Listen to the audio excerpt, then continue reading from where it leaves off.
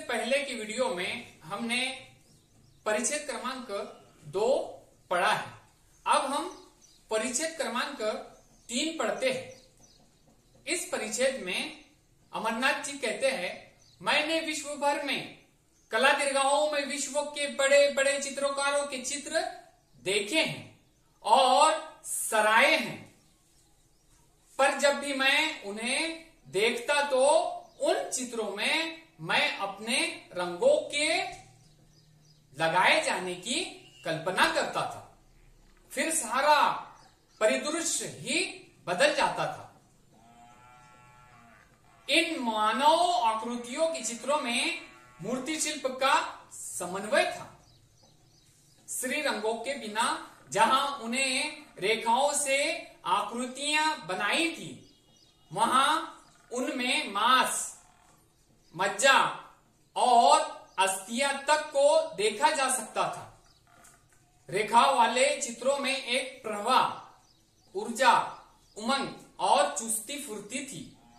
लगता था ये आकृतियाँ अभी संवाद करेंगी, हाथ पकड़कर साथ हो लेंगी।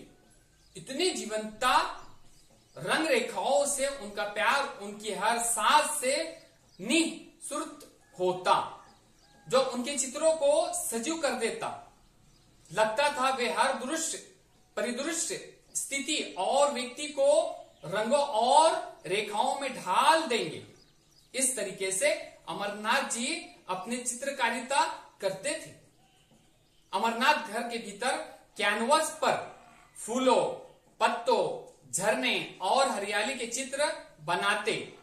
वहीं घर के बाहर की जितनी खुली ज़मीन थी माली के साथ उन्होंने उस ज़मीन को तैयार करवाया था। सामने की ज़मीन में बगीचा बनाया था, जिसमें रंग बिरंगे मौसम के फूल क्यारियों में लगाए थे।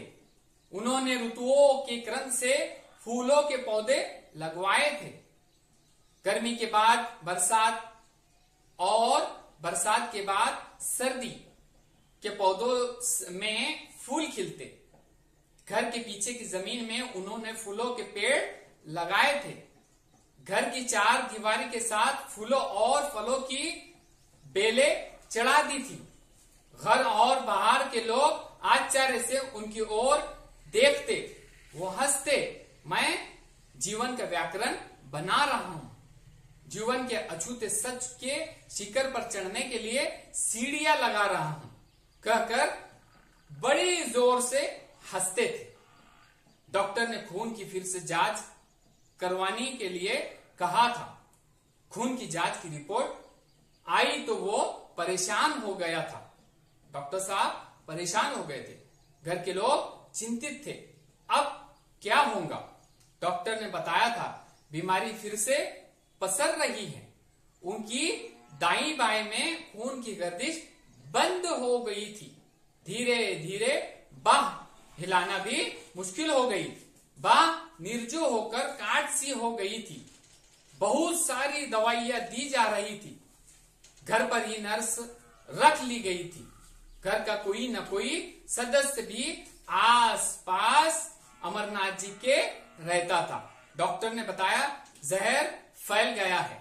अब और रुकना नहीं, और रुकना नहीं जा सकता है। पहले से भी ज़्यादा भयावह स्थिति। यानी पहले से भी ज़्यादा डर की हालत हो चुकी थी। बाह काटनी पड़ेगी।